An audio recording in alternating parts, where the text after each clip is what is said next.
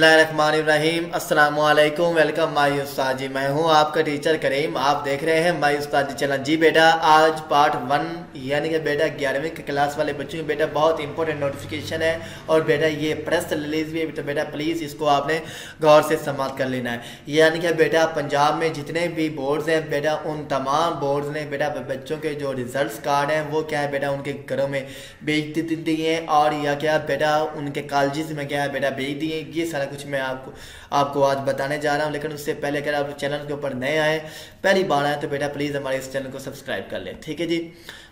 मतलब किया जाता है, board of intermediate and secondary education गुजरा वाला के जेर तम उनके इंटरमीडिएट पार्ट वन सालाना दो हज़ार बाईस के नतज के साथ मुर्गा सत्रह ग्यारह दो हज़ार बाईस को कर दी गई थी। रेगुलर उम्मीदवारों के रिज़ल्ट कार्ड, इसमें सबका दाराजात के सरबरान को यूज़र आईडी पर अपलोड कर दिए गए हैं, जो कि डाउनलोड करके अपना दस्तखत व मोहर सबत करके उम्मीदवार को इन वसूल करवाना सरबरान की ज़िम्मेदारी होगी।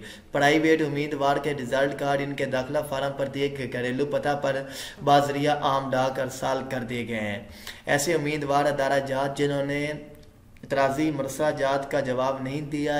या जिनके ज़िम्मे फ़ीस के बकाया जात वाजिबुल अला हैं, इनके रिज़ल्ट कार्ड दफ्तर हाजा में रोक लिए गए हैं। वो अपने इतराज़ात दूर करवाएँ और रिज़ल्ट कार्ड हासिल करें। नोट।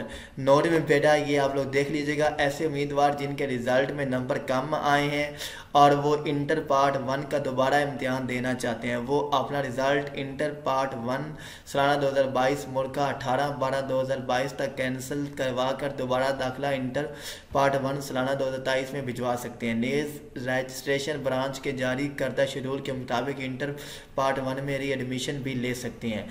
दरख्त दरख्वास्त व बयान अल्फ़ी का नमूना बोर्ड अदा की वेबसाइट पर दे दी गया और बेटा वो क्या कि मैंने आपको पहले से ही बता दिया है। ठीक है मेरे बेटे, ये सारा कुछ आपने देख लिया तो बेटा प्लीज़ अब मैंने आपको सारा जो शेड्यूल थे, पंजाब बोर्ड्स के वो मेरे, मैंने आपको बता दिए हैं। तो बेटा मिलते हैं नेक्स्ट वीडियो में, अपना बहुत सारा ख्याल रखेगा अल्लाह हाफिज़।